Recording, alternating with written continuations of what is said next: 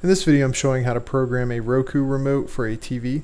This enables you to use the power button to turn the TV on and off, as well as to control the TV's volume by using the buttons on the side of the remote. Beginning from the Roku home screen, you'll open the settings menu, select remote and devices, select remotes.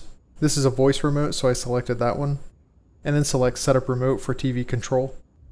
Search for your TV's brand here, this TV is a Sceptre, so I just began searching for the name here, and you can see that it showed up on the right. Once you select the name of your TV's manufacturer, you should hear music begin playing. At this stage, you'll want to keep the Roku remote pointed directly at the TV. As we go through these menus, the remote will begin trying different codes until it finds one that works.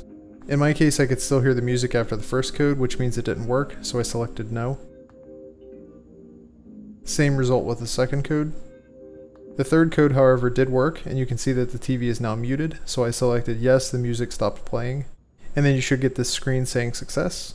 And just to test it out using the volume buttons on the side here, you can see I'm able to unmute the TV and go volume up and volume down, which means it is successfully paired. Alright, that's it for this video. Hit like if it was helpful, and thanks for watching.